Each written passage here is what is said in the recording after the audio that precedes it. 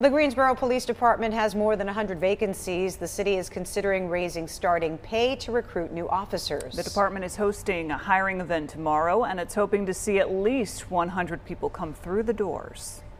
I think this is truly the best job, period, in all of the world. After working in law enforcement for more than two decades, Lieutenant Corey Flowers is still able to say he loves what he does. This is the best career. That's why he's encouraging other men and women to consider joining the Greensboro Police Department. Folks that are looking to, they have a heart to serve, they have a heart to serve their city and to make it better, to put themselves often as the thin dividing line between chaos and, and civil society.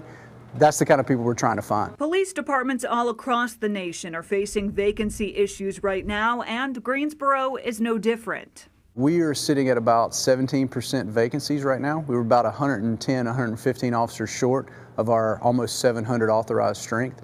Um, and so we want to fill, constantly fill our two police academies each year in an effort to, to fill some of those vacancies. Just last week, Greensboro City Council voted 7 to 2 to ask the city manager to find funds in the upcoming budget to raise Greensboro police officers' starting salaries to $57,000. We're the third largest agency in the state, and at this point, we're, we're, we're a little bit behind on the starting salary. And so we're hoping that some of these developments help them to make their promise that they've already made in vote a reality for our people. The entire public safety training facility, which includes classrooms, an indoor gun range, and gyms, will be open to tour.